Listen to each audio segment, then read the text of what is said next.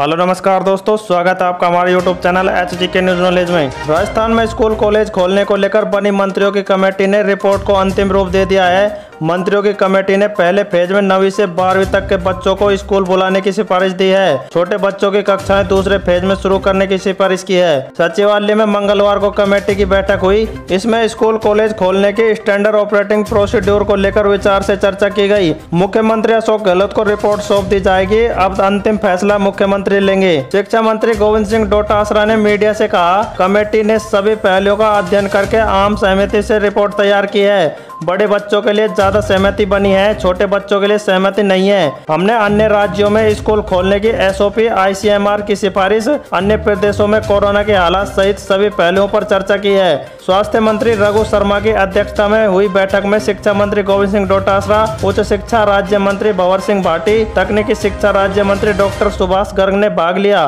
कृषि मंत्री लालचंद कटारिया ने फ़ोन से सुझाव दिए। कॉलेज और यूनिवर्सिटी में स्टूडेंट की कक्षाएँ शुरू करने पर चर्चा की गई। इस पर अंतिम वर्ष की परीक्षाएँ चल रही हैं। ऑनलाइन एडमिशन की प्रक्रिया चल रही है। जल्द इसे लेकर गृह विभाग विस्तार से गाइडलाइन जारी करेगा। गृह विभाग स्कूल, कॉलेज कोचिंग खोलने को लेकर एसओपी और गाइडलाइन जारी करेगा। मुख्यमंत्री से हरी झंडी मिलने के बाद ऐसा होगा। जुलाई के आखिरी सप्ताह में कैबिनेट की बैठक में स्कूल, कॉलेज खोलने की सहमति बनी थी। उसी दिन शिक्षा मंत्री गोविंद सिंह डोटासरा ने एक अगस्त ऐसी सभी कक्षाओं के बच्चों के लिए स्कूल खोलने की घोषणा कर दी थी। मुख्यमंत्री ने कैबिनेट बैठक के अगले ही दिन मंत्रियों की कमेटी बना दी। इस कमेटी में अब रिपोर्ट तैयार की गई है। प्रदेश में मार्च के बाद ही स्कूल कॉलेज बंद है। ऑनलाइन कक्षाएँ चल रही है। धन्यवाद दोस्तों, शिक्षा विभाग से जुड़ी हर खबर के लिए हमारे channel H K news knowledge को सब्सक्राइब करना ना भूलिएगा।